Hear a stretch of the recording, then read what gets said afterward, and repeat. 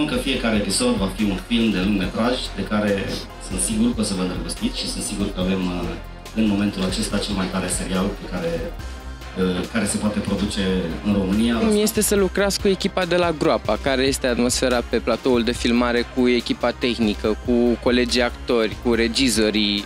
De echipa tehnică sunt foarte bucuros și fericit că mă, mi se pare o echipă extrem de bună. Bine, sunt și ani de când lucrează împreună.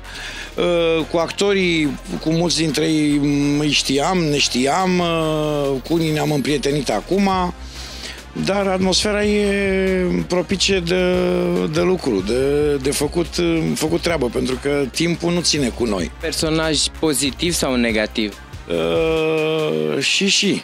Eu, pentru mine nu există personaje pozitive sau negative. Uh, Sandu Vlahu pentru mine e un om, în primul rând, într-o anumită situație, Sigur, cu rateurile vieții, relația cu copiii lui, care niciuna nu e dusă până la capăt, uh, relația cu apropiații, uh, destul de cald și prietenos cu cei slabi, foarte dur cu cei mari care depășesc o anumită limită.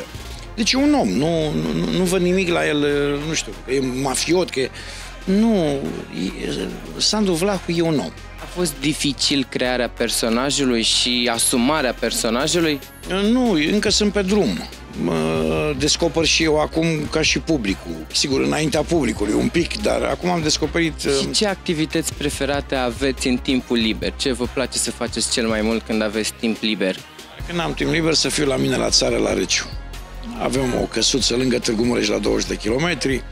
În livada mea, cu lucru, cu coasa, cu aranjarea, cu statul în natură. Da, e obligatoriu pentru mine. Eu provin din mediul ăla și mm, cu cât uh, înainte în vârstă mi-e dor din ce în ce mai mult de uh, natură și oamenii acolo sunt uh, altfel.